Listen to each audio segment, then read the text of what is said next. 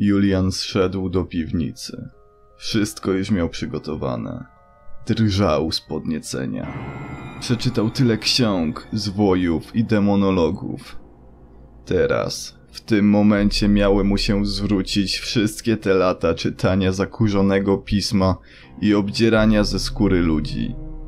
Już za kilka minut czuł to. Spojrzał, wszystko było przygotowane. Gwoździe, słoiki, młotek i mikser był przygotowany. Wszystko aż lśniło. Na środku stało pięć krzeseł ginekologicznych, a na pięciu krzesłach przywiązanych do nich spoczywało pięć kobiet w ciąży. Piętnastolatka, dwudziestolatka, dwudziestopięciolatka, trzydziestolatka i trzydziestopięciolatka. Każda z nich w ciąży i każdej zbliżał się czas rozwiązania. Julian był szczęśliwy. Pamiętał, jak każdą z nich porywał, jak każdą gwałcił w odpowiednim czasie, jak robił to wszystko, by zaszły w ciążę, jak dokonywał aborcji, gdy zachodziły za wcześnie, jak mordował je, gdy mijał rok i były już za stare.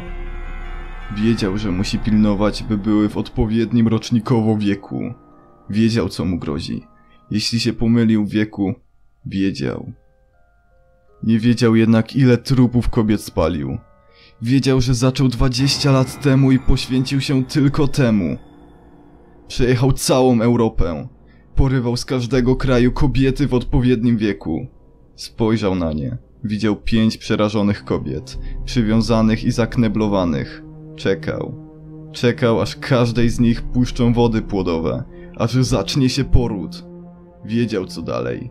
Od miesięcy oczekiwał tego momentu, był tak blisko. Wiedział, że gdy tylko puszczą mi wody płodowe, musi jak najszybciej je zebrać z misek, które specjalnie stały pod miednicami kobiet, aby jak najwięcej tego płynu uzbierać. Czekał. Poród zaczął się prawie jednocześnie. Julian zaczął zbierać miski z wodami i podstawiać miski z poduszkami. Nie chciałby któreś z jego dzieci umarło. Dziecko spadałoby przez 30 centymetrów. Wiedział z doświadczenia, że z takiej wysokości upadek na poduszkę na pewno sprawi, że dziecko będzie żyło.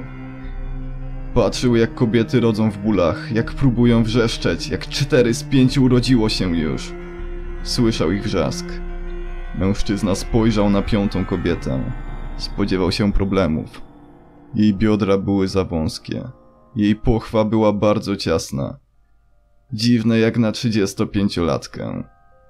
Podszedł do niej. Jej oczy patrzyły na niego błagalnie. Mężczyzna westchnął. Wiedział, co musi zrobić. Dziecko musi urodzić się naturalnie. Nie mógł wykonać cesarki. Pozostało mu tylko jedno. Wziął skalpel i wbił go w jej pochwę.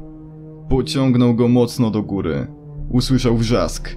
Mimo knebla kobieta wrzasnęła z bólu. Mężczyzna uśmiechał się. Mogła wrzeszczeć ile chce, piwnica była wygłuszona. Dla pewności ciął jeszcze kilkanaście razy. Spoglądał zafascynowany jak dziecko przychodzi na świat zmasakrowanej pochwy. Gdy tylko dziecko urodziło się, złapał za pępowinę i mocno pociągnął. Łożysko wypadło z matki. Spojrzał w jej oczy, gasło w nich życie.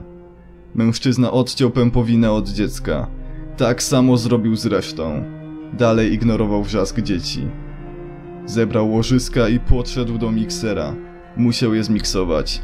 Wrzucił je do blendera, zamknął je i włączył pełne obroty. Wziął gwoździe i młotek, wrócił do dzieci, podniósł jedno z nich nie patrząc nawet na płeć. Podwiązał pępowinę, a następnie przyłożył do ściany. Patrzył w duże zielone oczy. Patrzył jak Bobas wrzeszczy, jak wita swoim okrzykiem nowy świat po czym wbił gwóźdź prosto w jego głowę. Po czym dobił go. Gwóźdź przebił się przez czaszkę i mózg i zagłębił się w ścianie. Julian odszedł od ściany. Spojrzał. Dziecko się trzymało. Musiał przybić jeszcze czwórkę dzieci. Słyszał łukanie kobiet, które go obserwowały. Po przybiciu spojrzał na noworodki, ułożone były w układzie jeden na górze, dwa na dole. Jeden na lewo od pierwszego, drugi na prawo od pierwszego i dwa na samym dole między pierwszym na górze a lewym na środku oraz między pierwszym na górze a prawym na środku. Wrócił do blendera, wyciągnął przecier z niego. Podszedł do ściany z dziećmi, zaczął prowadzić linię. Od dziecka na górze do dziecka na samym dole, po lewej. Do środkowego dziecka po prawej. Potem do środkowego dziecka po lewej. Następnie do dziecka na samym dole po prawej i do pierwszego dziecka. Powstał mu ładny pentagram. Zadowolony spojrzał na swoje dzieło. Już tak blisko. Spojrzał do tyłu. Kobiety patrzyły na niego przerażone. Ich oczy prawie wychodziły z orbit. Podszedł do misek z wodami płodowymi, zlał je do jednej, a następnie podszedł do pentagramu i narysował okrąg na nim. Zadowolony spojrzał na swoje dzieło. Już niedługo. Widział, jak pentagram rozjaśnia się. Jeszcze chwila i schwyta swojego anioła stróża. Jeszcze chwila! Zawołał. O aniele stróżu, przybądź tu i pożryj matki. O aniele stróżu, przybądź do mnie, przybądź. Jego pułapka była gotowa. Wiedział, że musi przybyć. Patrzył zadowolony, jak pentagram otwiera się jak światło z niego się wydobywa. Widział już rękę, gdy nagle wszystko się skończyło. Spojrzał zaskoczony, ściana była czysta. Usłyszał cichy szept.